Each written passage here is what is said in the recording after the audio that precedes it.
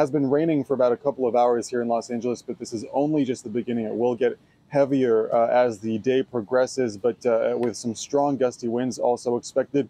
Uh, there is a uh, state of emergency that is currently in place uh, in the entire state of California that has been uh, enacted just to make it easier to give resources to certain local authorities like county officials if and when uh, there are, for example, search and rescue operations that need to be uh, carried out because of that extensive flooding. We've already seen several evacuation orders for uh, hill and mountain communities, especially especially to the east and northeast of Los Angeles. Officials there are very worried that there will be some significant mudslides and debris flows uh, in those areas. And really, we're also expecting to see some very, very significant rain in the desert communities, cities especially like Palm Springs, a very popular tourist destination. They are expecting to see anywhere, uh, Palm Springs, uh, Death Valley, anywhere from one to two years worth of precipitation of rain in just 48 hours. And that really takes us back to the unprecedented nature of this storm.